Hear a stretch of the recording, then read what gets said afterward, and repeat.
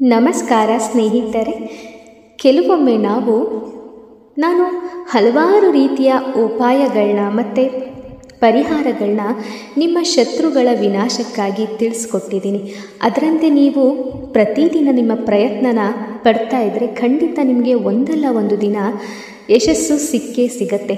ಇದಕ್ಕೆಲ್ಲ ನೀವು ಮುಖ್ಯವಾಗಿ ಪರಿಪಾಲನೆ ಮಾಡಬೇಕಾಗಿರೋದು ನಂಬಿಕೆ ಮತ್ತು ಭಕ್ತಿ. ಇದರಲ್ಲಿ ಯಾವುದೇ ರೀತಿಯ ಅಪನಂಬಿಕೆನ ಇಟ್ಕೋಬಾರ್ದು. ಹಾಗಾಗಿ ಶತ್ರುಗಳನ್ನ ನಿಮ್ಮ ಜೀವನದಿಂದ ನಾಶ ಮಾಡಬೇಕು ಅಂದರೆ ನಾನು ತಿಳಿಸ್ಕೊಟ್ಟಿರುವಂತಹ ಹಲವಾರು ಮಂತ್ರಗಳು, ಪ್ರದಕ್ಷಿಣೆಗಳು ಯಾವ ರೀತಿ ಹಾಕಬೇಕು, ಯಾವ ವಿಧಾನದಲ್ಲಿ ಹಾಕಬೇಕು ಅಂತ ನಾನು ತಿಳಿಸ್ಕೊಟ್ಟಿರೋ ಹಾಗೆ ನೀವು ಮಾಡಿ ಸ್ನೇಹಿತರೆ.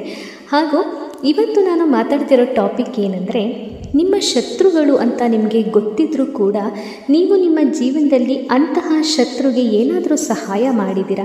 ಅಂದರೆ ಈಗ ಒಂದು ಸಣ್ಣ ಉದಾಹರಣೆ ಕೊಟ್ಟಿರ್ತೀನಿ ನೋಡಿ.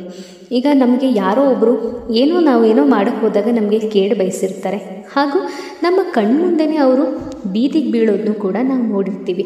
ಯಾಕಂದರೆ ನಮಗೆ ಕೊಟ್ಟಂತಹ ನೋವು ಅವರಿಗೆ ತಿರುಗಿ ಬಿದ್ದಾಗ ಸ್ವತಃ ದೇವರು ಕೂಡ ಸಹಾಯ ಮಾಡಲ್ಲ. ಅಲ್ವಾ? ಆ ರೀತಿ ಪರಿಸ್ಥಿತಿ ಬಂದು ಅವರು ಜೀವನದಲ್ಲಿ ನರಳುವಾಗ ನಿಮಗೆ ಅಂತಹ ಶತ್ರುನ ನೋಡಿ, ಅಯ್ಯೋ, ಇಷ್ಟೊಂದು ಕಷ್ಟಪಡ್ತಿದ್ದಾರೆ ಹೋಗಲಿ ಬಿಡಪ್ಪ, ಏನಾದರೂ ಒಂದು ಸಹಾಯ ಮಾಡೋಣ ಅಂತ ಹೇಳಿ ನೀವು ಮನಸ್ಸು ಮಾಡಿ ಸಹಾಯ ಮಾಡಿದ್ದೀರ ಅಂತಹ ಶತ್ರು ಯಾರು?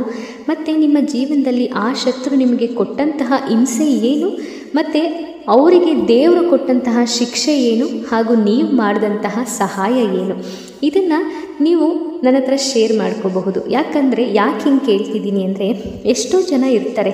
ನಮ್ಮ ಶತ್ರು ಅಂತ ಗೊತ್ತಿದ್ರೂ ಕೂಡ ತುಂಬ ಜನ ಒಳ್ಳೆ ಮನಸ್ಸಿರೋರು, ಅಂದರೆ ತುಂಬ ಒಳ್ಳೆ ಮನಸ್ಸಿರೋರು ಶತ್ರುಗಳಿಗೂ ಕೂಡ ಒಳ್ಳೆಯದನ್ನೇ ಬಯಸ್ತಾರೆ. ಯಾಕಂದರೆ ಅವರು ಎಲ್ಲದರಲ್ಲೂ ಕೂಡ ಒಳ್ಳೆಯದನ್ನೇ ಹುಡುಕ್ತಾರೆ. ಮತ್ತು ನನ್ನಿಂದ ಒಬ್ರಿಗೆ ಕೆಟ್ಟದಾಗೋದು ಬೇಡ.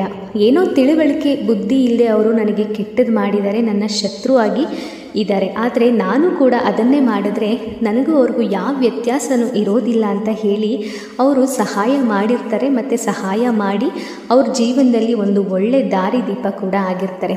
ಈ ರೀತಿಯ ಉದಾಹರಣೆಗಳು ಎಷ್ಟೋ ಸಿಗ್ತಾ ಹೋಗುತ್ತೆ. ಅದಕ್ಕೋಸ್ಕರ ನಾನು ಕೇಳ್ತಿದ್ದೀನಿ, ನಿಮ್ಮ ಜೀವನದಲ್ಲಿ ಇರುವಂತಹ ಶತ್ರುಗೆ ನೀವು ಯಾವತ್ತಾದರೂ ಸಹಾಯ ಮಾಡಿದ್ರ? ಅದಕ್ಕೆ ಪ್ರತಿಯಾಗಿ ಅವರು ನಿಮಗೆ ಧನ್ಯವಾದ ಹೇಳೋವಷ್ಟು ಬದಲಾದ್ರ? ಆ ಒಂದು ಯಾವುದಾದ್ರೂ ಅನುಭವ ಇದ್ದರೆ ನೀವು ನನ್ನ ಜೊತೆ ಹೇಳ್ಕೋಬೋದು, ಸ್ನೇಹಿತರೆ. ಓಂ ಶ್ರೀ ಕೃಷ್ಣಾಯ ನಮಃ. ಆ ಕೃಷ್ಣ ಪರಮಾತ್ಮ ನಿಮ್ಮೆಲ್ಲರಿಗೂ ಒಳ್ಳೆಯದನ್ನು ಮಾಡಲಿ. ಧನ್ಯವಾದಗಳು.